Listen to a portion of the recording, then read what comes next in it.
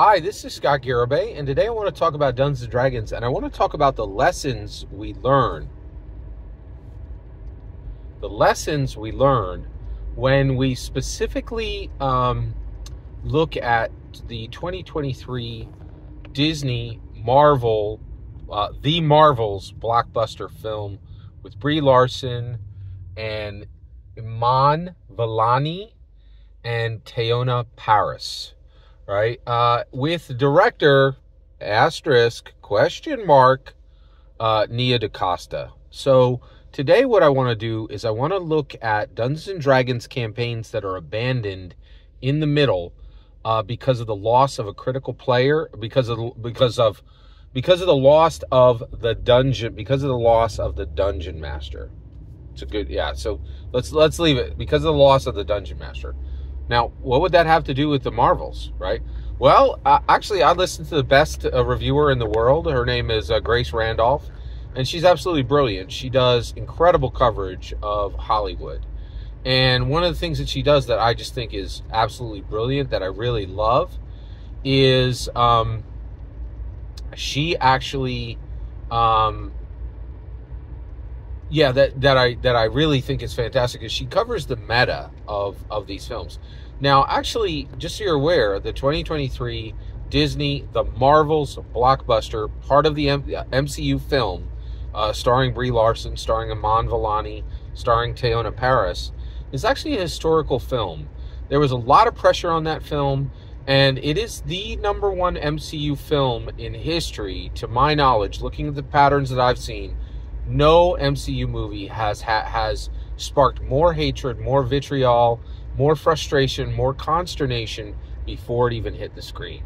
It had made enemies deep, deep, like for for well over a year, maybe close to two years people were were act, actively rooting for this movie to fail. First of all, I'm sorry, um, spoilers for the 2023 uh, the Marvels film, and I have seen it. It's a four out of five star movie. It is not the feminist scree that people are saying that many people on the internet are saying it is. Uh, it is very feminist, um, and it is very girl power. And I, actually, there is one. There are two strong male male characters one of them that I, I don't even know the name of, but it was st- his presence on the screen was very interesting, and I and I'm interested in looking him up and seeing who exactly what the actor was, what his character was. But um, Samuel Jackson playing Nick Fury was right there. So anybody who says there aren't strong male leads in this film, they're just lying. Like there is definitely strong male leads in this film. Samuel Jackson is the the definition of a strong male lead. He is definitely in the film, and so it's not all girl. It's not all girl power, right? And why would hey, hey Scott? Why can't an MCU movie be all girl power?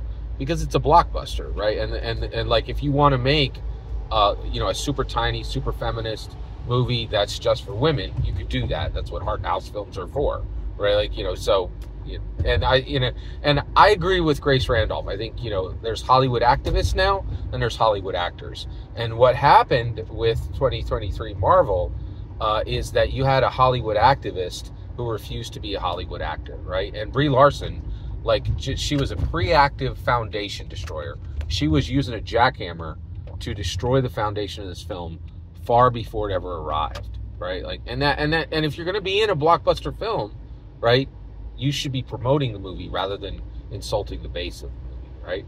But the real problem here is, so this was this film that was coming forward, and basically there was a lot on the line for feminism, right? Feminism was like, hey, we could do a strong, you know, a strong blockbuster film, right? But the reality is there were problems right from the gate. There were massive problems from the gate. And one of them that was what Grace Randolph reported was that Nia DaCosta actually deserted the film in the middle of shooting, right? Like six months before it wrapped, Nia DaCosta literally just left set, did not talk to, to Disney, and just deserted the film and it had to be it had to be finished by other by other resources in Disney. And so and that's huge that's a huge problem because Nia DaCosta was an up and coming female director and the point of this was Disney was like, "Hey, we want to give female directors a chance too." But then Nia DaCosta deserted the production in the middle, which the entire point of this movie was to show girl power, but you're giving, you know, leadership to you know a woman and then she's abandoning that leadership and leaving her entire team in the lurch, right? That's bad, right? Now, what's interesting is I I watched this movie, right? Four out of five star movie. It's a good movie. Could have been a great movie if Nia DaCosta had stayed where she was and finished the job she was hired to do, in my humble opinion, right? Um, and and I'm basing that off of what Grace Randolph said that that she really just desert. She was a deserter director, right? Said uh, specifically, Grace said that she left the set in the middle uh, in the middle of shooting, right, and did not come back and went and shot another movie, right, which is like, uh, that's really bad, right? Like, and especially when this was supposed to be a showpiece for what a girl power movie could do, right? And so this is very problematic, right? Now, what did Disney do? They finished it. They finished it rock solid, baby. They're like, thanks, Nia DaCosta. We gave you a huge opportunity. You blew it, right? You, you think Candyman is your resume? I don't think so, right? We gave you the chance to to actually do an incredible job on this film. And this isn't the first time Marvel's tried to do this. They've been trying to turn over movies to a powerful, solid, productive female director, and they've had significant trouble doing it, right? Like, and the reason, so Nia DaCosta, this was a night, this turned out to be a nightmare for them, right? She deserted, she deserted director, in my humble opinion. That's the correct title for her on for Nia DaCosta on this film.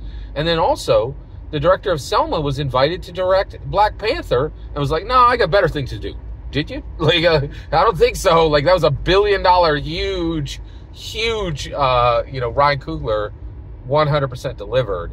And and Grace has been openly just openly saying this, like that the studios are coming around and saying we're going to give um, female directors a chance, and the female directors are not delivering, right? Specifically for Marvel, right? So this was a very bad outing for female-led projects, right? Doesn't mean every female-led project will, will fail, but it definitely this doesn't help. Like basically, when people are like, "Why don't you give female directors a, a chance?" You know, there's some evidence on the ground, like at this point, if you're not Greta Gerwig, you're not delivering, right? And that and that has to be managed on the female side. They need to have on the woman side. They need to have the women need to get together and say, if this happens and you're a woman director, reach out. We will support you as a gender, right? Like this has got to get fixed going forward. So, but Disney handled this. They brought in they they're like, are you kidding, man? We've been plunking these. We got like 30 movies in the MCU, right? Like, and the reality maybe 20, maybe like 25, about 20, 20, 25, 30 movies now, easily, right? In the MC, in, in the modern MCU. And so they just brought in their own people and they wrapped it up and they fixed every problem that Nia DaCosta solved them, right? Now, what's interesting, and they did that because they had the right to finish the story. Let's talk about Dungeons and Dragons, okay? What is our lesson from this? Well, one, we need to be, uh, if you're a player and you get a deserter dungeon master, you need to be ready to finish that story yourself. Okay. Now, how do you do that? And do you have the right to do that? First of all, if your dungeon master uh, deserts you in the middle of a campaign, and what is a desertion, right? One, one month without communication. If you don't hear from, if you don't hear the next time and date the game will be held, right, uh, within one month, that is a desertion, in my humble opinion. And you and all rights to the story revert to you, the players.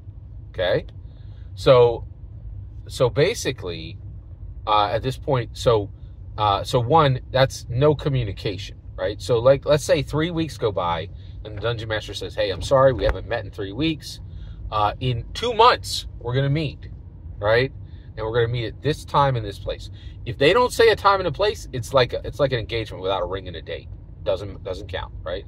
If they say in two months on this day at this location we will meet and we'll run the next session, then you, then the dungeon master still has rights to that story, right? And you can't go telling your own story without the dungeon master.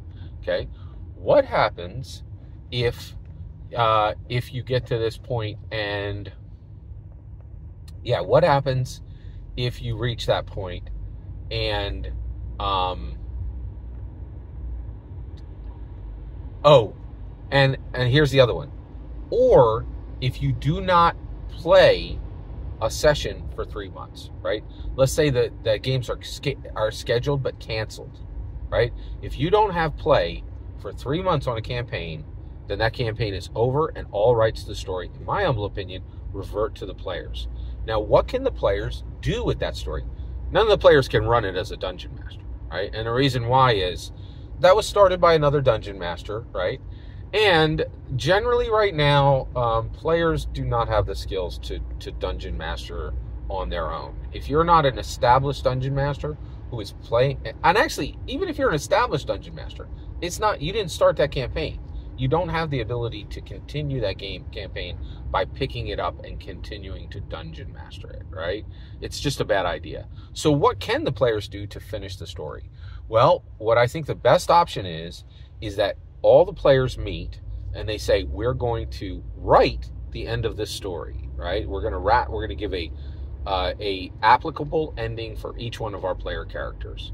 And the reason why they would do that is their player characters are due an end to that quest, even though they have been Nia decosted, right? And they and there is there's a deserter dungeon master, right? So if you are a player and you've been Nia decosted, right? What you should do is eh, gather all the players together and say, one of us has the right to finish this story. And so let's elect our uh, our story staker, right? Somebody to stake the story down and finish it, right? So the story staker is elected by the, all the players, and then at that point, that player says, "Hey, what would you like to happen for your player character to end this campaign?" And that that story staker, that player, gathers all the desires of each of the players, and then finally writes a writes an, a, an end to the story that is one page long that is as long as one page per session that was played. Right? So if like seven sessions was played, then the story will be seven. The story can be up to seven pages long. The story staker writes that story and writes a, a and writes an ending for every single player character, and then distributes that to the group.